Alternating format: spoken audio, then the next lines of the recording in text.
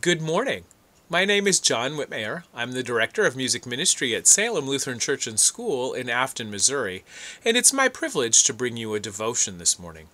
Today's devotion is another in the series of Monday Blessings written by my father, Pastor Gary Wittmayer, during his time in active ministry. Today's devotion is based on Luke chapter 2, verse 19, which reads, but Mary treasured up all of these things and pondered them in her heart. Pastor Gary writes, Boy, oh boy, this was the year I was going to get a bigger piece to say in the Christmas service.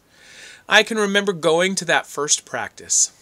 All those one liners like, Jesus is born, and the shepherds were sore afraid, were beneath me now.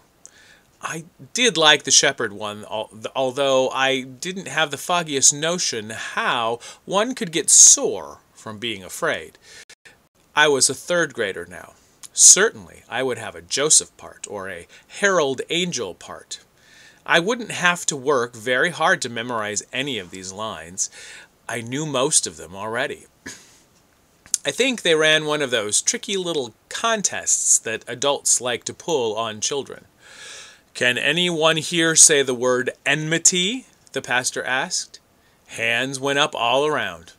Not wanting to seem inept, I put mine up too. Let's hear you say it, he prompted. I guess I won or lost, depending on one's view.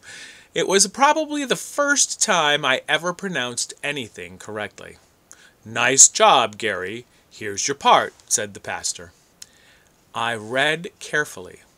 I will put enmity between thee and the woman, and between thy seed and her seed. It shall bruise thy head, and thou shalt bruise his heel. What kind of Christmas piece was that? I didn't have the foggiest notion what it meant. Except for enmity, I knew what all the words meant. but the way they were put together left me clueless. Although incomprehensible to my mind, these words seemed magnificently powerful. Christmas Eve, I faced that group of adoring parents and grandparents and spoke for God. In spite of their power and hint of judgment, they were not fearsome words, but strangely comforting. God was planning to do something great. While I was disappointed with my part, as I look back on it now, I do believe it was the beginning of my calling. This strange passage intrigued me.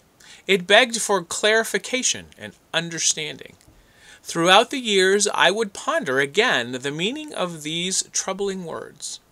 By design, God had given me a great treasure, a puzzle to unravel.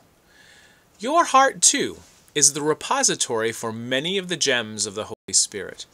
Be pleased and consider yourself blessed if some of them are a little bit puzzling. God has given you something to ponder, as he did Mary. How can a virgin have a child?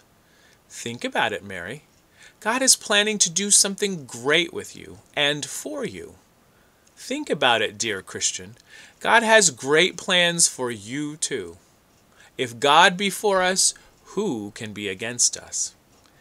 God has put enmity, read himself, between you and sin, death, and the devil.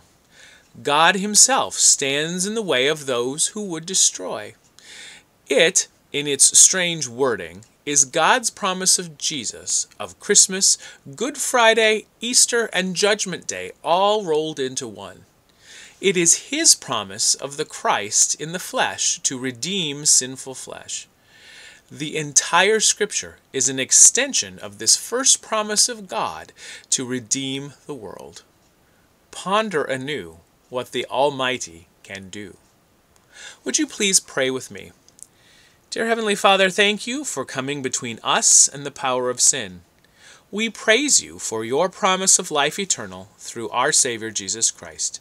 In his name we pray. Amen. Thank you so much for watching and listening today. May God bless your Monday and your week. Thank you, and God bless.